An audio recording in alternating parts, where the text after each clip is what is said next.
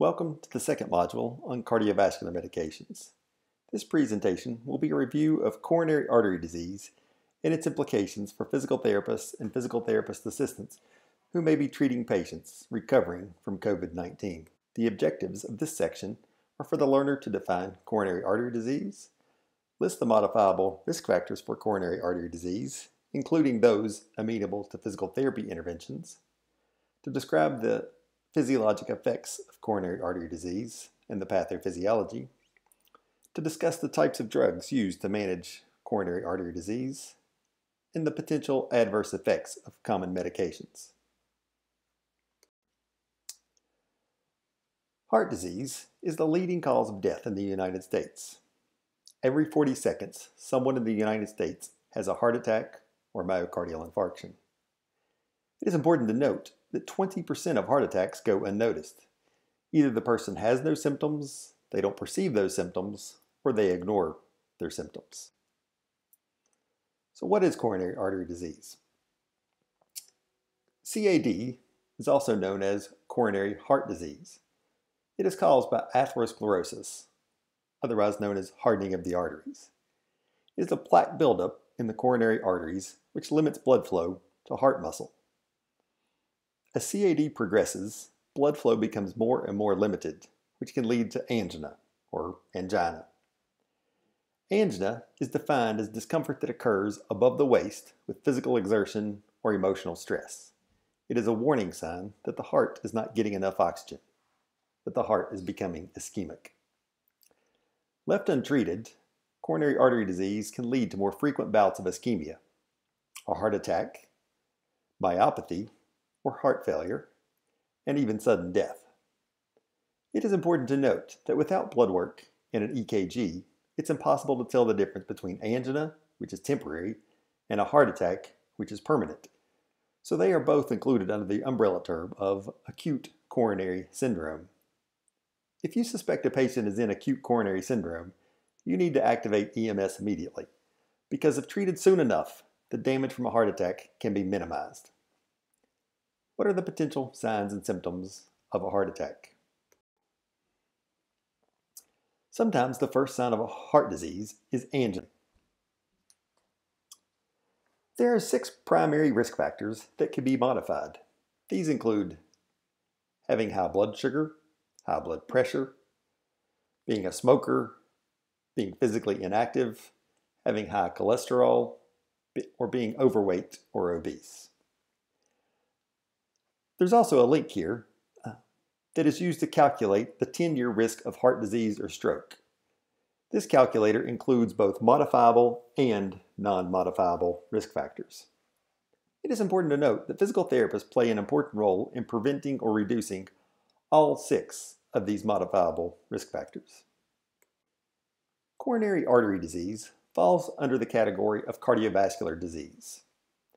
Other types of cardiovascular disease include cerebrovascular disease, which is, can be manifested by a transient ischemic attack, again, which is temporary, versus a stroke, which is permanent brain damage, as well as peripheral arterial disease, which has the temporary symptom of intermittent claudication or leg pain with exertion. The common pathology that links all of these types of cardiovascular disease is atherosclerosis, or the plaque buildup in the arteries. Thus, it is important to consider that patients likely have atherosclerosis throughout their arteries and not in just one organ or tissue. Thus, if you're working with a patient who has had a stroke, they're likely also at risk for having a heart attack. Similarly, a patient with peripheral artery disease is at risk for having a stroke or a heart attack. Thus, be alert for these emergency conditions to develop when working with any of these patient populations.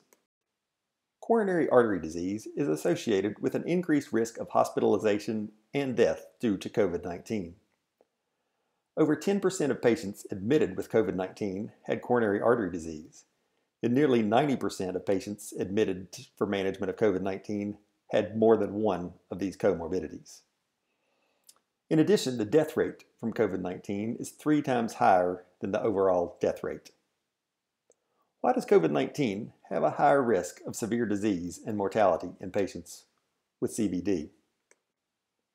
Although not unique to the SARS-CoV-2 virus, viral infections increase the risk of myocardial infarction, heart failure, and dysrhythmias by a variety of mechanisms, but especially by inducing a systemic inflammatory response, by increasing sympathetic stimulation, and by putting the patient in a hypercoagulable state.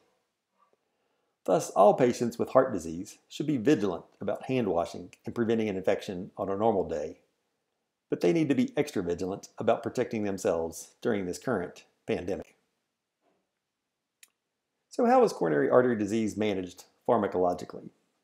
The three main strategies are increasing oxygen supply to the heart, decreasing oxygen demand of the heart, and managing the risk factors for coronary heart vascular disease. We'll look at each of these separately. Oxygen supply to the heart can be increased by relaxing the coronary arteries. This is most commonly done with vasodilators. Non-DHP calcium channel blockers like diltiazem can also be used. In addition, antiplatelet drugs such as aspirin or Plavix can be used. Nitroglycerin has its mechanism of action as a vasodilator by being converted to nitric oxide, which is a potent vasodilator.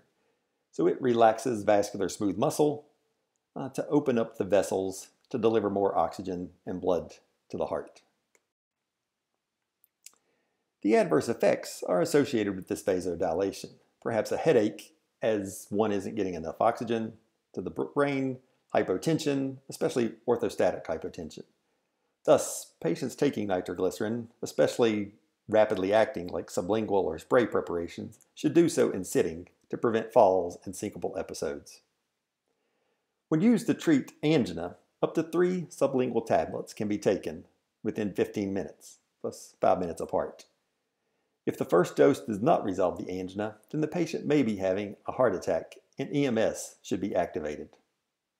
When EMS does arrive, make sure to tell them how many doses of nitroglycerin have been administered. Another way to improve oxygen supply to the heart is to prevent thrombus formation by decreasing platelets, the platelets' ability to stick together at the site of an injury, often where there's a rupture of plaque within the coronary artery. Aspirin can also be given, chewed, not swallowed, if the patient is in acute coronary syndrome. One of the major adverse effects of aspirin is bleeding. This can be especially an issue in patients with an increased fall risk, as they could develop cerebral bleeding if they were to fall and hit their head. A second potential way to manage coronary artery disease is to decrease the oxygen demand of the heart, to keep it below the threshold at which ischemia and angina occur. This is done primarily with beta blockers and calcium channel blockers, both which can reduce heart rate and contractility of the heart, and thus cardiac output and the amount of work the heart is doing. As illustrated in the previous module on antihypertensive medications, beta blockers reduce both heart rate and blood pressure and can prevent the heart from reaching the angina threshold. The work of the heart can be assessed as the rate pressure product, or heart rate times systolic blood pressure. Angina typically occurs at a reproducible rate pressure product. Thus, if the patient stays below a certain rate pressure product, angina can be prevented. Lastly, modifying risk factors is important in both the primary prevention of cardiovascular disease, but it is also important in secondary prevention, minimizing the progression of the disease.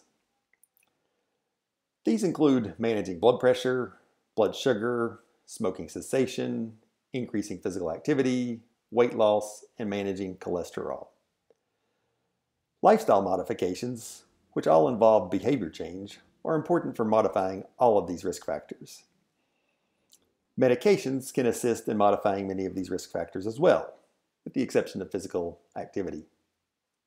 Pharmacologic management of hypertension and diabetes are discussed in separate modules of this course. Thus, the only specific drug therapy we will now discuss is for management of cholesterol. Total cholesterol is the sum of bad cholesterol, or LDL, good cholesterol, HDL, and triglycerides. Ideally, total cholesterol should be below 200. The lower the better. Hypercholesterolemia is defined as a total cholesterol of greater than 240. This slide illustrates there's both bad cholesterol, LDL, as well as good cholesterol, or HDL. LDL is associated with plaque buildup in the coronary arteries, while HDLs are associated with plaque removal from the coronary arteries.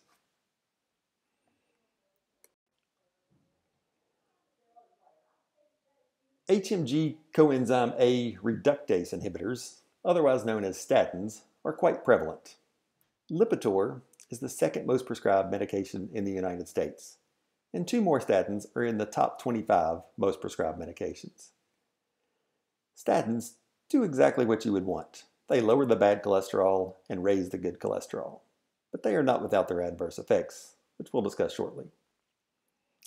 Other less commonly used medications for dyslipidemia include niacin or vitamin B3, which is especially helpful in raising HDL, and Zetia. Zetia works by blocking the absorption of cholesterol from the GI tract into the blood, and thus the adverse effects of it include GI distress. distress. But we'll focus our attention on the statins.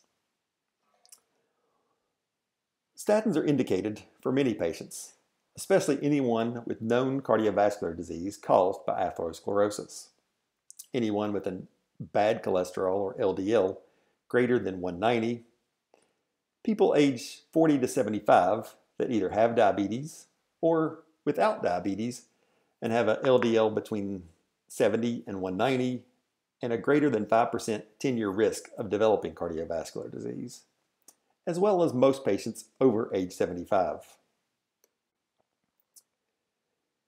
This clinical decision making is process is illustrated in the following diagram from a clinical practice guideline on the management of hypercholesterolemia.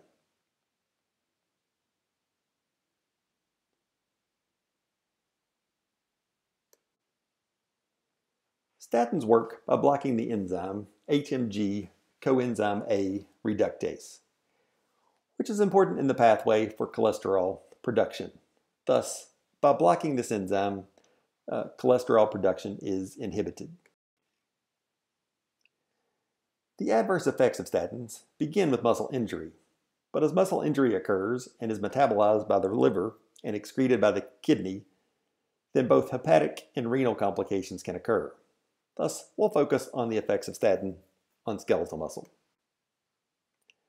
The spe spectrum of effects of statins on skeletal muscle include myalgia, myopathy, myositis, myonecrosis, and clinical rhabdomyolysis.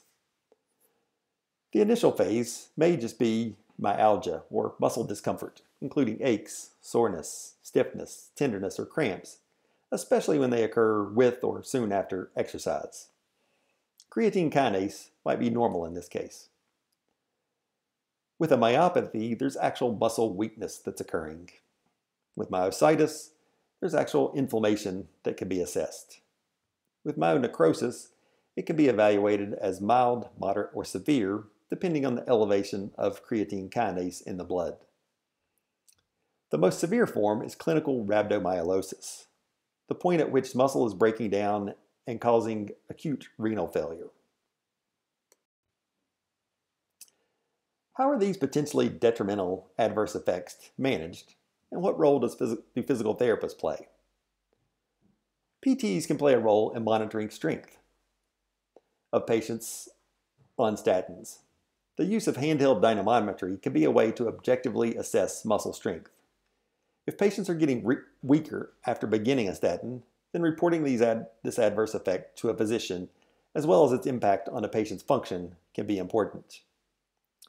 The physician may then decide to lower the dose of the statin, uh, to stop the statin, or to switch to another um, brand of a statin. It is also important to have a, an appropriate therapeutic exercise prescription. Um, patients that are unaccustomed to vigorous exercise might be at higher risk of muscle injury.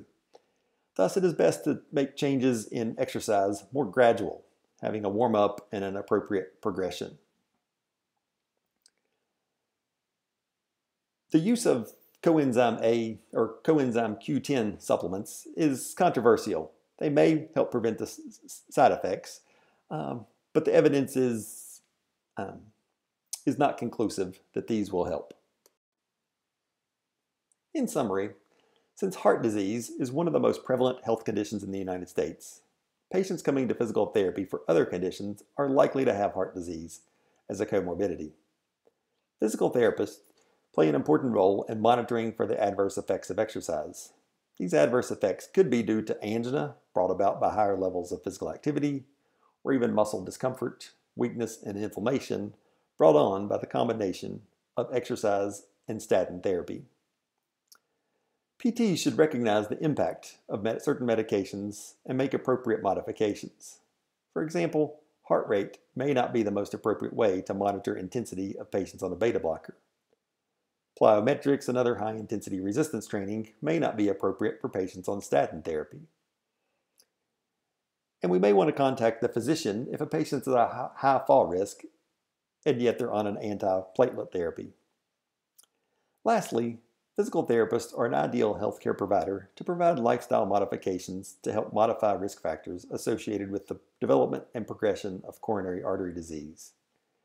We should guide patients into motivating themselves to stop smoking, to be more physically active, to make healthy food choices.